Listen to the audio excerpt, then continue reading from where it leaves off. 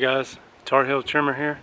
Uh, today we're going to install a tailgate lock because basically I don't have the tonneau cover on my truck yet. I wanted something to protect it.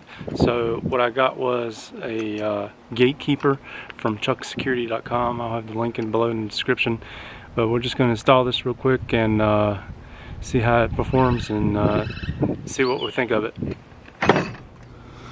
Okay, so basically, as you can see here, it's going to cover this. This is what it looks like.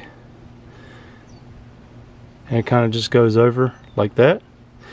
And you replace it with one of those bolts. You replace this one with a uh, special star bolt. Trying to get this to focus. So make sure you, you put some Loctite on the bolt and uh, it's, it's like a five minute job.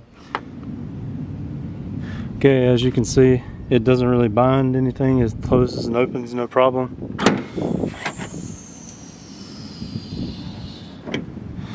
And here's how it looks. So it just basically blocks this area right here where you can pop the tailgate corner off oh, hope you enjoyed the video. I'll let you know how it goes and if I enjoy it